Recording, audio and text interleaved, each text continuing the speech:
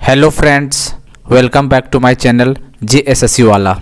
दोस्तों, जैसा कि आपको पता ही होगा कि कल जे एस एस जेई का रिवाइड आंसर किया आया था और हमने कम्युनिटी पोस्ट पे पोल भी करवाया था और टेलीग्राम में भी। कि कितना आपका नंबर बढ़ा है दोस्तों? क्योंकि काफ़ी ज़्यादा क्वेश्चन आंसर गलत दिया गया था ये बात आपको पता ही होगा। ठीक है, इतना गलत तो देता नहीं था टीसीएस खैर पता नहीं इतना क्वेश्चन गलतियाँ कैसे दे दी गया था। तो चलिए लोगों को लोगों को दोबारा आंसर के मिलाने के बाद जो बताने वाले दोस्तों एक्सपेक्टेड जो शेप पर होने वाला दोस्तों इलेक्ट्रिकल मैकेनिकल सिविल का, वो हम बताने वाले ठीक है दोस्तों? और देखिए दोस्तों, ये जो आप कटअप बताने वाले हैं आपको हम, ये नॉर्मलाइजेशन इतना नॉर्मलाइज होकर इतना नंबर आपको आ आ जाएगा दोस्तों तो आपको सलेक्शन होने का चांसेस पूरा पूरी चांसेस हो जाएगा, ठीक है? और देखिए दोस्तों, ये कटअप जो जेन्यून कटअप है, ये अधिक मान लेते किस तरह धांधली वगैरह हुआ होगा पता नहीं अंदर अंदर से क्या हुआ होगा नहीं कर सकते उसका लेकिन जो जो जितना छात्रों से बात हो पाया, जिससे जितना नंबर आ रहा है उन लोग को, उसके हिसाब से ये कटअप बताने जा रहे हैं। ताकि अब देखिए कटअप बताने से कुछ क्या होगा, आपको पता ही होगा।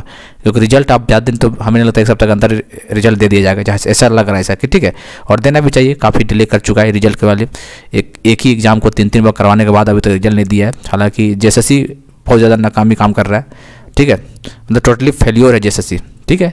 आप लोग देखेंगे दोस्तों कि कल कल देखेंगे आप लोग चेयरमैन के गाड़ी को तोड़ फोड़ छात्रों ने कर दिया। ठीक है दोस्तों, कुछ जब, सर से जब पानी ऊपर चला जाता है दोस्तों तो मजबूर हो जाता है, ठीक है? कोई छात्र इतना बेवकूफ़ नहीं है जो इस तरह काम करेगा, लेकिन फिर भी मजबूरी का मजबूरन छात्र जो करना पड़ता है, भाई क्या करेगा? अब बेरोजगार रखिएगा, एक ही एग्ज़ाम को तीन तीन चार चार बार लीजिएगा रिज़ल्ट टाइम पर नहीं दीजिएगा तो क्या करेगा बताइए? अब ऐसे ही होगा। अब जब आंदोलन करवाने की कोशिश कीजिएगा तो ऐसे ही होगा अब। अब बर्दाश्त से बाहर हो चुका है, ठीक है? अभी तो, तो अभी तो देखा जाए तो गाड़ी तोड़फोड़ किया हो सके आगे चल के पता नहीं और भी कुछ तोड़फोड़ करेगा। इसलिए रिज़ल्ट लेते हैं एग्ज़ाम लेते हैं तो टाइमली दिया कीजिए और रिक्वेस्ट है कि जितना जल्दी हो सके तो रिज़ल्ट जल्दी दिया जाए ठीक है? और दोस्तों हम लोग बात करेंगे कितना गुना रिज़ल्ट देगा जैसे जेई का डीबी के लिए ठीक है दोस्तों? वो हम लोग बात कर लेंगे ठीक है? चलिए तो हम देखते हैं, आप लोग शायद उम्मीद करते हैं आप लोग मिला लिए होंगे फाइनल आंसर की, देख लिए होंगे कितना आप लोग, लगभग अठारह दस दस क्वेश्चन ऊपर ही कुछ कुछ लोगों का सही किया गया है, ठीक है? तो अपने हिसाब से देख लीजिएगा, आप सीधा सीधे दोस्तों, सीधे आप रिज़ल्ट आने वाला है आपका, ठीक है? वो हम लोग बात कर लेते हैं। देखो तो सबसे पहली बात, जो रिज़ल्ट अभी तक देखा गया, डेढ़ से दो गुना रिज़ल्ट आपको दिया जाएगा दोस्तों डी के लिए, ठीक है? डेढ़ से दो गुना, अभी तक तो ऐसे ही किया गया है, ठीक है?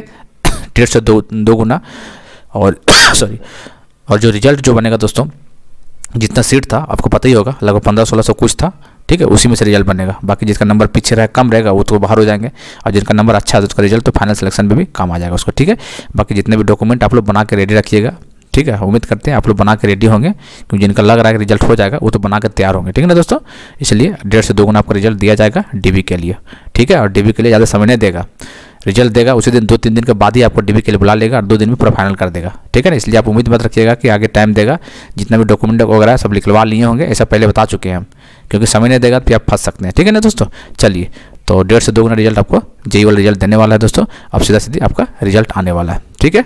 चल देखते हैं रिज़ल्ट किसका आता है, पता चलेगा। अच्छी बात है दोस्तों, जिनका रिज़ल्ट सिलेक्शन हो जाएगा, बहुत अच्छी है दोस्तों, क्योंकि स्टेट में जेई का नौकरी बहुत ही अच्छा नौकरी बोला जाता है। आपको पता होगा, जब ज्वाइन कीजिएगा तब। ठीक है? ठीक है? चलिए तो हम देख लेते हैं दोस्तों।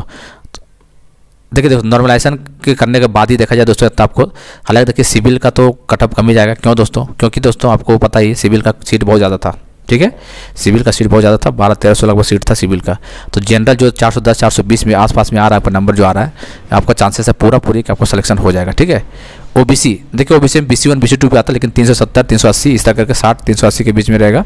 तो ओ बी सी का ये कटअप है सिविल वालों के लिए। ई डब्ल्यू एस कम ही जाता है तीन सौ बीस, तीन सौ बीस से लेकर साढ़े तीन सौ या तीन सौ चालीस तक आपका नंबर है ई डब्ल्यू एस तो आपको सिविल ब्रांच में, सिविल सिविल ब्रांच में जेई बनने जा रहे हैं आप लोग, ठीक है? एस टी के लिए दो सौ सत्तर से दो सौ नब्बे, ठीक है? एससी के लिए दो सौ नब्बे से तीन सौ दस, ये आपको रेंज है दोस्तों सिविल वालों के लिए, ठीक है? देखिए दोस्तों, बात ऐसा है ना कि मान लेते हैं कि सिविल वालों को हो सका कि चार सौ तीस आ गया, ठीक है? कुछ बच्चा का, और कुछ बच्चा का जनरल में हो गया चार सौ आ गया, ठीक है? तो दिक्कत यह किसी को आ गया चार सौ बीस या चार सौ पंद्रह, ऐसे करके चार सौ पंद्रह आ गया। तो देखिए, जैसे जो दोगुना रिज़ल्ट देगा ना तो ये छात्र भी बाहर हो सकता है।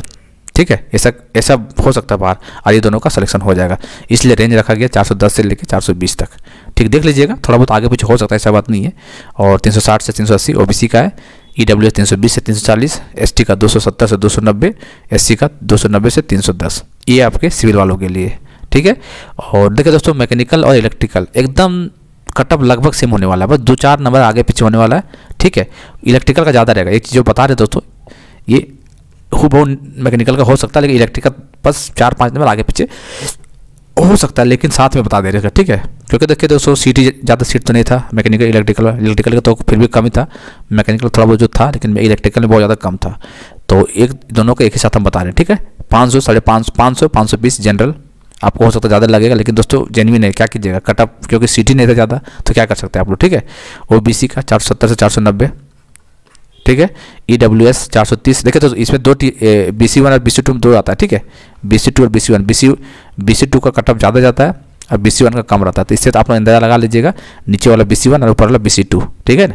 ई डब्ल्यू एस चार सौ तीस से साढ़े चार सौ के बीच में एस टी चार सौ दस से चार सौ बीस और एस सी तीन सौ अस्सी से चार सौ के बीच में हो सकता है। ठीक है इसमें से जितना भी हम दोस्तों कटअप बताए इसमें प्लस माइनस फाइव कर लीजिएगा। ठीक है प्लस माइनस फाइव ये आपको रेंज देखने को मिलेगा।